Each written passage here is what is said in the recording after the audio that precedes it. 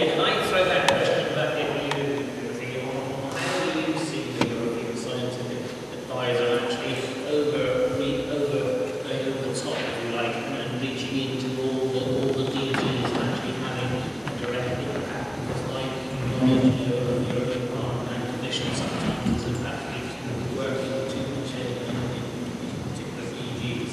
How, how is he, how is he using an umbrella to really make a difference?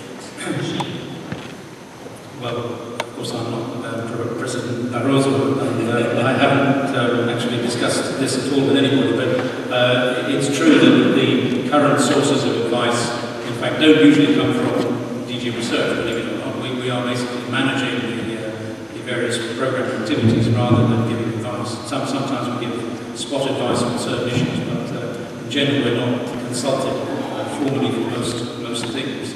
Uh, but there, there are bodies like EFSA and various other scientific committees which are uh, specifically constituted to provide the advice up to now. So the, I think the general concept of the advisor, the overall scientific advisor would be to draw these various uh, components together uh, and uh, obviously with an additional separate team. But um, of course, we're also going through a phase where the whole commission is going to be re, um, let's say, re, re, re. There'll be some new director generals and some, certainly a whole bunch of different commissions. So at the moment, it's not absolutely clear how that's going to operate. But I, I, I think that the, uh, the question of, of sovereignty and uh, acceptability, let's say, for uh, scientific advice will depend on who, who is chosen and how good that advice is to be. So if, if the person or the team behind that person is credible, uh, then that advice will be accepted already.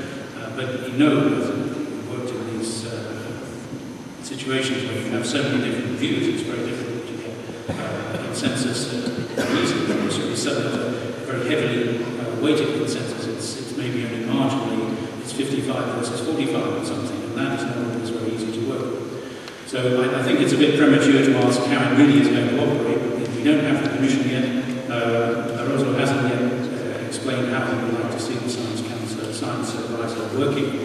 Um, but uh, I think there's general acceptance that the idea is a good one, and that uh, obviously this will have to be implemented fairly quickly once, once we have the new commission in place.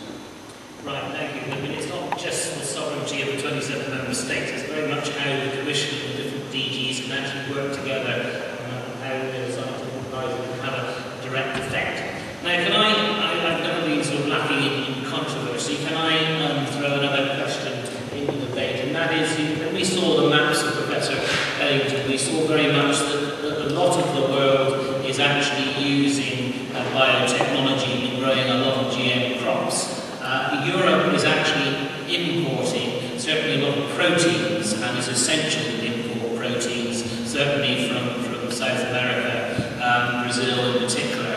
Uh, and are we going to be able to maintain all the time our, our restriction to GM type crops when in the end the production of chicken meat in Brazil will be fed on, on crops we're not allowed to, to feed in the European Union? Uh, our farmers will be denied access to that feed, and yet our consumers, if we're not careful, be eating exactly the product uh, that, that we can't actually access uh, to feed our poultry on. So how, how does the panel feel like dealing with that? Because we do take an awful long time in Europe, even when we do license feed, uh, to actually get it imported into the European Union. I don't know who wants to tackle that one. Does Willie, do you want us to tackle that one first? I suppose I should.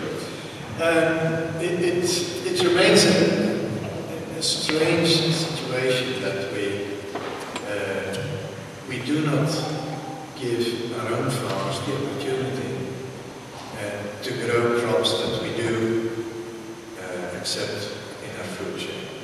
That is, that is really the bottom. And we tend to look only at North and South America uh, for this, and I think that's wrong. I spent about half of my career in Africa, including in South Africa, where GM crops are a massive success, including, I would say, especially for small farms. Uh, one of the things that, that has gotten lost in the debate in Europe is the ability to go and inform ourselves of what happens outside Europe. When I came back to Brussels to take up this post at Europa Bio, very quickly invented the word planet GM.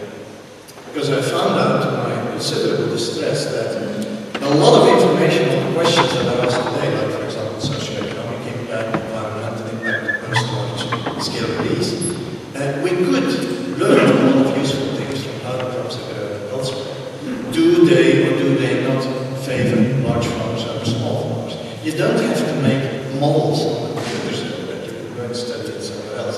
And regardless of what the outcomes will be, they will not be the same everywhere, and regardless of what the outcomes may what I regret is the process by which we simply lock our debate off from that information.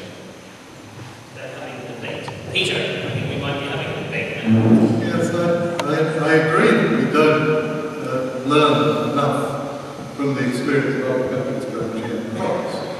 But of course, I would draw completely different lessons and conclusions from William. And first of all, although the map showed countries where some GM crop, usually one or two are grown, the suggestion that everything is grown is GM is ridiculous. There are relatively very few GM crops being grown on large scale globally. The number hasn't increased much over the years. Well, yes, there is soybean, there is maize, there is cotton.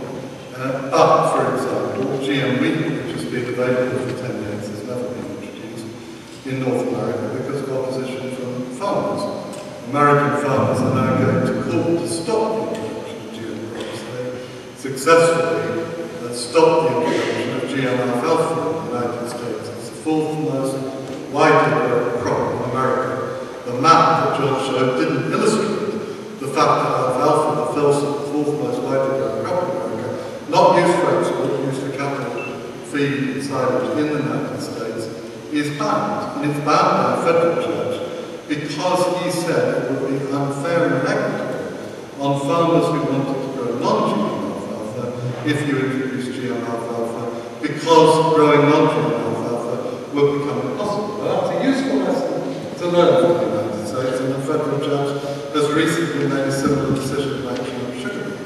So yes, let's look at what's happening. Let's look at the overall increase in pesticide use in America as a result of the introduction of GM crops in those particular crop areas. There's lots we could learn, but I think the main reason, and we go back to the question about why is Europe important stuff, first of all, as I said, I think we need to change the basis of animal products in our diet to make use of European grass rather than destroy Brazilian rainforests uh, or pampas to import soy. So we need to be more self-sufficient and eat less meat. Salve, Deus,